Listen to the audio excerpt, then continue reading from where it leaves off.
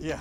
Okay, here we go. Looking out over the fair. Lots of rides, lots of food. Boy, it was smelling good out there this time yesterday afternoon, just wafting across the fairgrounds. Here we go, 79. That's not bad at all for a fair temperature and humidity in check. Not muggy at all. That's good. Another beauty tonight. So we're looking at low 60s tomorrow morning.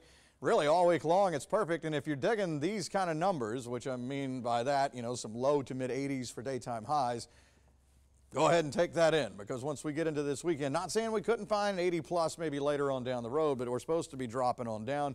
And this coming up front this weekend is going to do that. So dark green dew points, bigger humidity for Alabama, Mississippi. For us, we're kind of pretty much dry-ish out there. And there's the radar shot. It's going to continue to look like this as we go across the board. Satellite's the only thing really getting any work in, and that's just finding a few clouds off and on. So really an uneventful week after a very eventful week last week. And to find rain, as I mentioned earlier, you got to go west of the Mississippi. All right, so let's dig on in and see what's up with future view.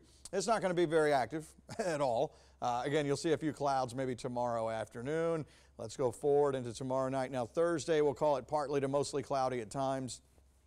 And that's pretty much it. As we go into Friday, the same thing. This will take us into Friday morning. So we'll roll over into the long range look, and you can see the frontal boundary back toward the north and west. Friday looks great for us. Football Friday night for us looks great as well. Let's go forward into Saturday. This is what we would call moisture starved, meaning not a lot to work with as this front comes through to make rain, almost not even showing up here as we get into Saturday midday into the afternoon. So at this point, not looking for this to be a big rainmaker, definitely not looking for a washout, but then the overall effect of this front will be much uh, more noticeable for everybody. Once we go Saturday night into Sunday, cooler, drier stuff rolling in, and that's going to continue as we go on into Monday, Tuesday of next week. So let's talk about the numbers in the short term.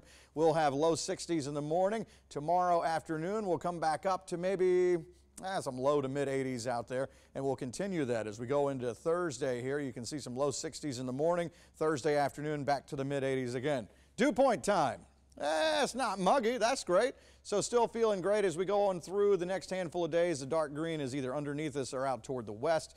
And we're going to wait for that front to come in this weekend. And it's going to make a big change for us. There's the seven day. We'll go with a transition day on Saturday. We'll see if anything rain, rain-wise comes out of this. Otherwise, we drop down low 70s maybe starting Sunday and overnight lows could be dropping down into the 40s. Another big shot of fall on the way. We're back after this.